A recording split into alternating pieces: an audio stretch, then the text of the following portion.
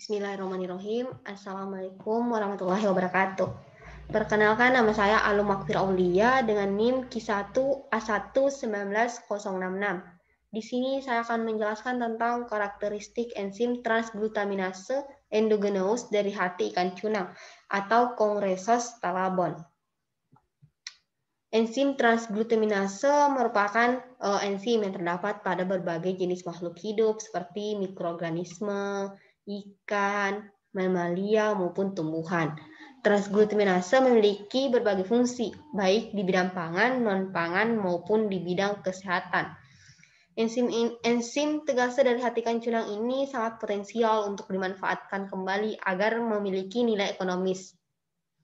Enzim transglutaminase um, ini merupakan salah satu jenis enzim transferase dengan nama sistematikanya protein glutamin Y-glutamil transferase.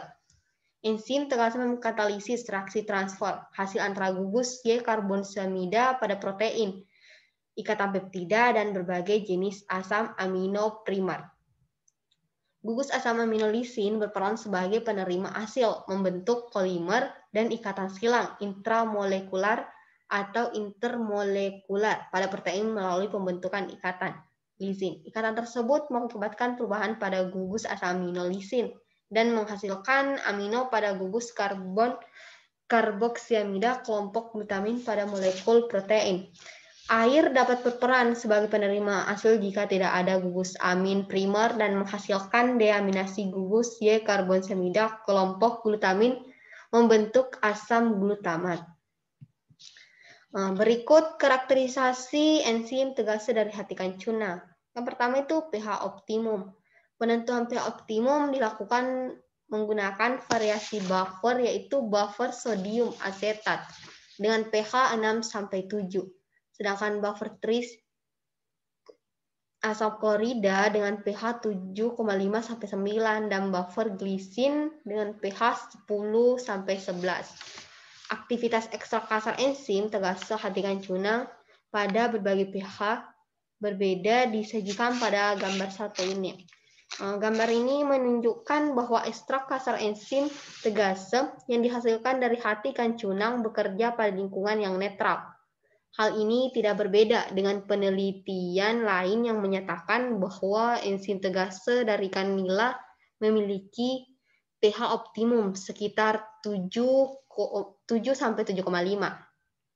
Enzim memiliki pH optimum yang khas, yaitu pH yang menyebabkan aktivitas maksimal. Profil aktivitas pH enzim ini menggambarkan pH pada saat gugus pemberi atau penerima proton yang penting pada sisi katalitik enzim berada dalam tingkat ionisasi yang diinginkan. E, nilai pH optimum itu tidak perlu sama dengan pH lingkungan normalnya.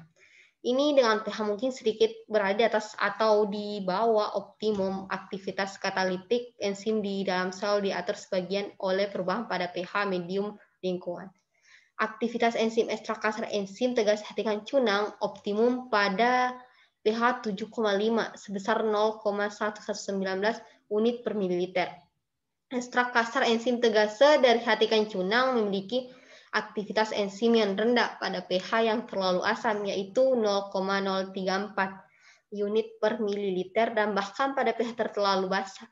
Aktivitas enzim tegase tidak terdeteksi. Hal ini menunjukkan bahwa enzim tersebut tidak stabil pada pH sangat asam dan alkali akibat terjadinya denaturasi enzim pada kondisi pH yang ekstrim bahwa suasana ekstrim asam maupun ekstrim basa terjadi penurunan ikatan elektrostatik yang menyebabkan terjadinya kehilangan aktivitas. Yang kedua yaitu uh, suhu optimum. Penentuan suhu optimum ini dilakukan dengan cara mereaksi enzim pada pH optimalnya. Dengan substrat monodansil kadeferin dan dimetilated kasein pada berbagai variasi suhu antara 20 derajat Celcius sampai 70 derajat Celcius. Aktivitas kasar enzim tegase hatikan cunang pada suhu berbeda dapat dilihat pada gambar dua ini. Eh, gambar ini menunjukkan bahwa peningkatan suhu akan menyebabkan peningkatan aktivitas enzim ekstrak kasar enzim tegase sampai pada titik tertentu. Aktivitas enzim ekstrak kasar enzim tegase dari hatikan cunang mencapai optimum pada suhu di, pada suhu 50 derajat Celcius dalam buffer tris asam klorida dengan pH 7,5 dengan nilai sebesar 0,163 unit per mililiter. Hal ini uh, didukung dengan hasil penelitian lain yang menyatakan bahwa suhu penelitian lainnya bahwa suhu optimum aktivitas enzim tegase dari hatikan kurisi mencapai optimum pada suhu 50 derajat Celcius.